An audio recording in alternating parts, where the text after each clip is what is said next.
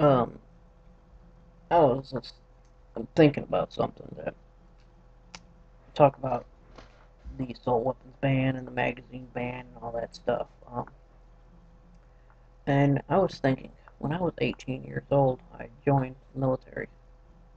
And granted, there were certain, you know, procedures and, and all, but with the signing of a pen, um, I could check out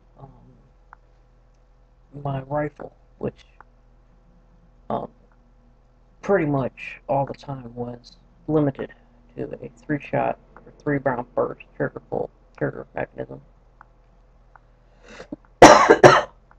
Meaning every time I pulled the trigger, maximum of three rounds would be fired off. But at the same time, I could check out an M60 machine gun or an M249 SAW machine gun, which was full automatic, and that was all you had. Um, I could also check out an M2 50 caliber machine gun. I could check out a Mark 19 fully automatic grenade launcher. Um,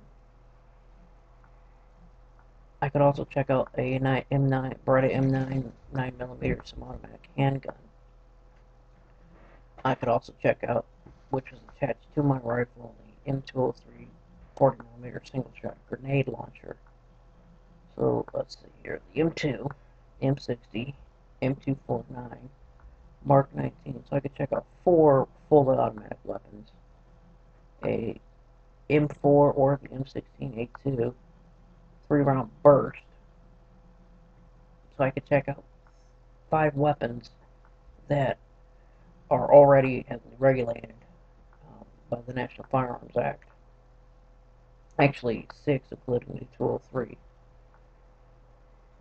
And my issue revolver, issue revolver, issued sidearm, which was, you know, semi-automatic only, almost identical to civilian models major difference is just markings.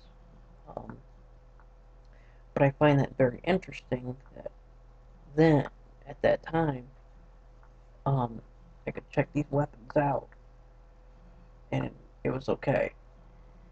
In fact, when I was overseas, um, if I was carrying my M4, again, three round burst, I had an M203 attached to it, and my sidearm and I carry three magazines for the pistol. I think five, if I remember correctly, for the M4. Uh, most times I did not carry um, uh, rounds for the grenade launcher. Um, so I find it very interesting that I could carry all this ammunition, including a weapon that was regulated by the NFA, and it was okay with just the side of my pin. But literally overnight, um, as soon as my discharge was effective in the United States military, I could no longer, or I, well, I'm not going to say no longer, but now they want to say I'm not trustworthy enough to have those weapons. Why? The only thing that changed was my legal obligation to the United States government. That's it it didn't change my self-induced obligation to the government, I guess. Or I should say the Constitution. That didn't change at all. The love of my country, the love of my freedom did not change at all.